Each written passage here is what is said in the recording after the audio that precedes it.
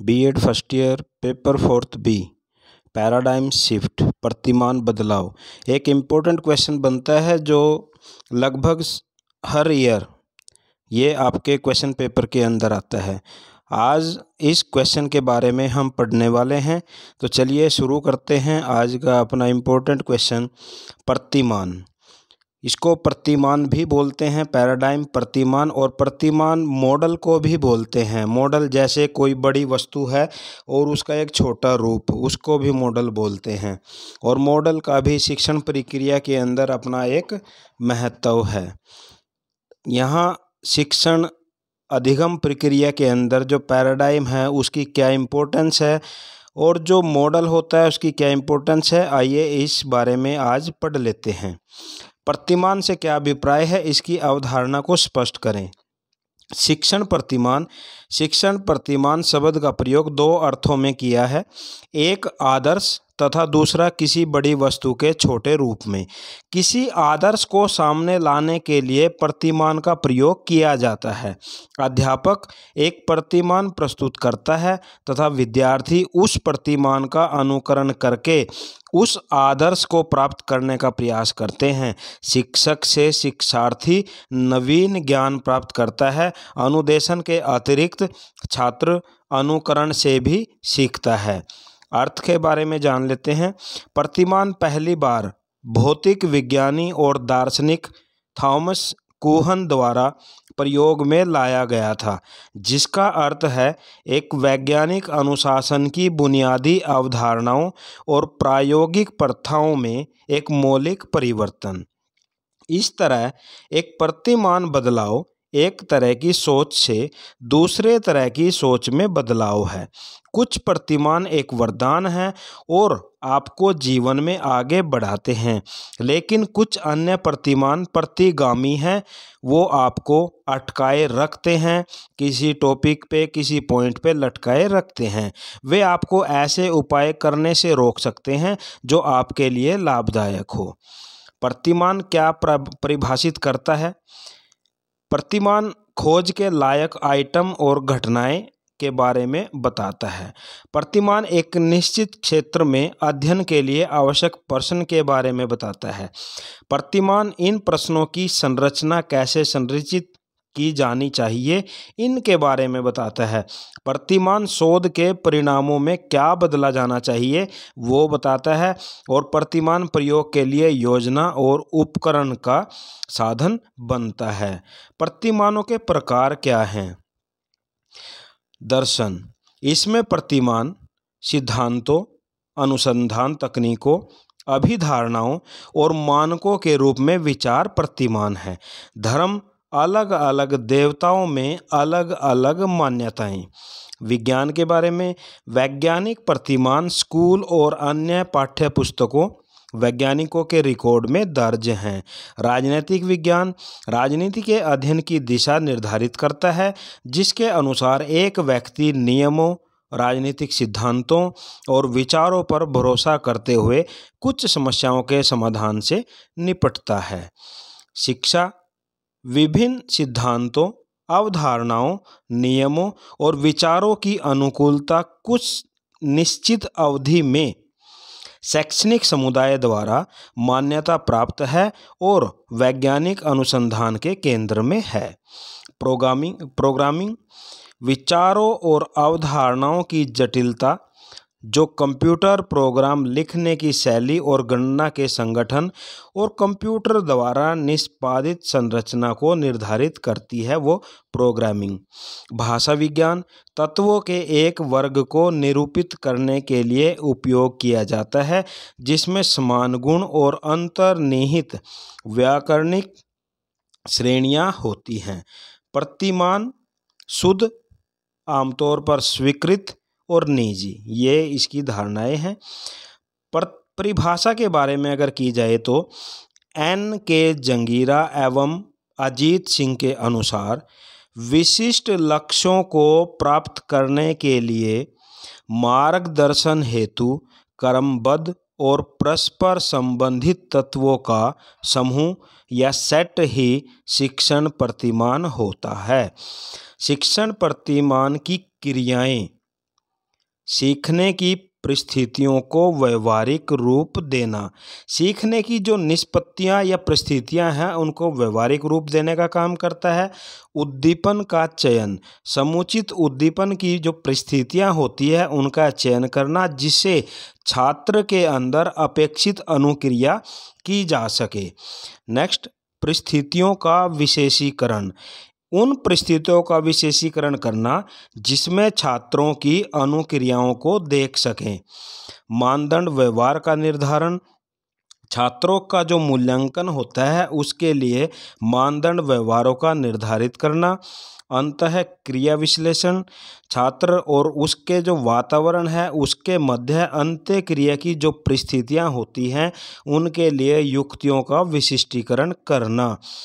व्यवहार संशोधन छात्र में अपेक्षित व्यवहार परिवर्तन होने पर परिस्थितियाँ तथा युक्तियों में सुधार और परिवर्तन करना व्यवहार संशोधन में आ जाता है। उद्देश्यों की प्राप्ति, उद्देश्यों को प्राप्त करने में उत्तम कार्य की रूपरेखा प्रस्तुत करना और शिक्षण को प्रभावी बनाना। ये आ जाता है शिक्षण प्रतिमान की क्रियाएँ कौन सी हैं? अब उपयोगिताओं के बारे में देख लेते हैं। आवश्यकता अनुसार अधिगम अनुभव, यानी जो शिक्षण प्रतिमान होता है, उसकी सहायता से छात्र की जो आवश्यकता है, उसे अधिगम अनुभव लर्निंग एक्सपीरियंस उपलब्ध कराए जा सकते हैं। सेकंड आ जाता है, उचित पाठ्यक्रम, वातावरण। शिक्षण प्रतिमान के अंदर उचित पाठ्यक्रम, वातावरण देकर उद्देश्य जो आपने निर्धारित कर रखे हैं, उनको शीघ्र प्राप्त करना आ जाता है। नेक्स्ट आ जाता है, पाठ्य सामग्री का चयन। पाठ्य सामग्री के चयन के अंतर्गत शिक्षक और शिक्षार्थी, दोनों का जो मेन उद्देश्य होता है, जो लक्ष्य रखे गए हैं, उनको प्राप्त करना। तो उनके लिए पाठ्य सामग्री किस प्रकार की हो, उस प्रकार का चयन किया जाना। शिक्षण व्यूह रचना शिक्षण व्यूहरचना का मतलब होता है कि शिक्षण से संबंधित जो भी क्रिया योगदान है, जो भी क्रियाएँ की जाती हैं, जिसमें शिक्षा के उद्देश्य हैं, अच्छी तरह से उनको प्राप्त करने का मार्ग, वो आ जाता है शिक्षण व्यूहरचना शिक्षण प्रक्रिया में सुधार, मूल्यांकन में सहायक। उसके बाद महत्व देख लेते हैं। शोध कार्य के लिए विस्तृत क्षेत्र।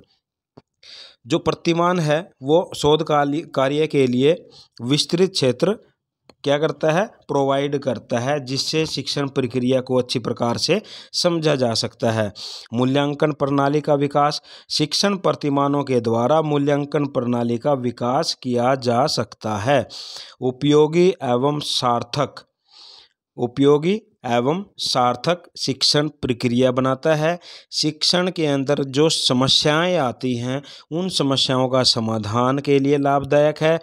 विशेष उद्देश्यों की प्राप्ति, जो उद्देश्य निर्धारित किए जाते हैं, उनको प्राप्त करने का मार्ग प्रस्तुत करता है। शिक्षण परिस्थितियों का अध्ययन और मनोवैज्ञानिक दृष्टि से लाभ ये सब आ जाते हैं महत्व के अंदर।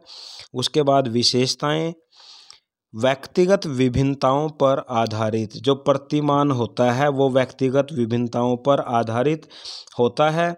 दर्शन और मनोविज्ञान का प्रभाव पड़ता है, चिंतन का अत्यंत महत्वपूर्ण स्थान दिया जाता है, शिक्षण को कलात्मक रूप प्रदान करता है।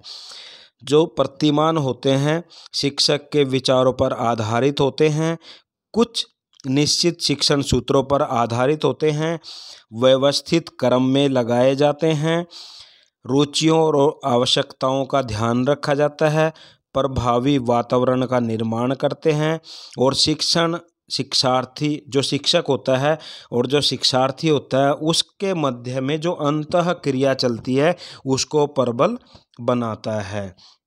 उसके बाद आ जाता है, भाई, जो शिक्षण प्रतिमान हैं, उनके आधारभूत तत्व कौन से हैं, अंग कौन से हैं? लक्ष्य। प्रत्येक शिक्षण प्रतिमान का विकास किसी न किसी लक्ष्य को ध्यान में रखकर किया जाता है। लक्ष्य से तात्पर्य है, उस बिंदु से है जिसके लिए प्रतिमान विकसित किया जाता है। शिक्षण के उद्देश्य हों या लक्ष्य शिक्षण के प्रतिमान के लक्ष्य और उद्देश्य निर्धारित होते हैं। शिक्षक का उद्देश्य अपने शिक्षण के माध्यम से शिक्षार्थी की विभिन्न जो क्षमता हैं, उनका विकास करना होता है। सेकंड आ जाता है संरचना। शिक्षण प्रतिमान के द्वारा शिक्षण प्रक्रिया के विभिन्न कर्मों का निर्धारण किया जाता है।